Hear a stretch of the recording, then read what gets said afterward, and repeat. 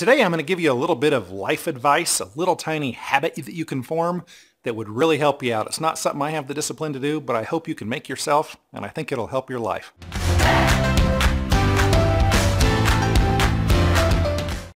Here's what I'm suggesting. I'm suggesting that once a day, five days a week minimum, you reach out to someone that you care about and say something nice. Make some sort of contact make it a different person each time, uh, you know, or at least every few weeks change it up uh, so that you're touching the lives of at least 15 or 20 people a month.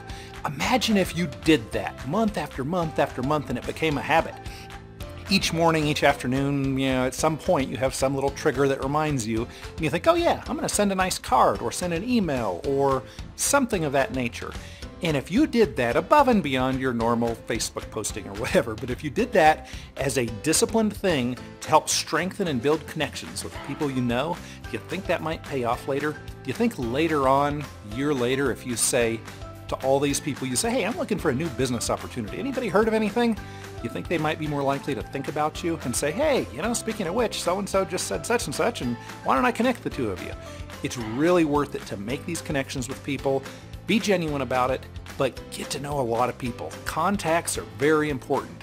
Along with all the other videos I've made about maintaining a good reputation, your integrity, actually being in touch with people is very important. So please make a habit out of this.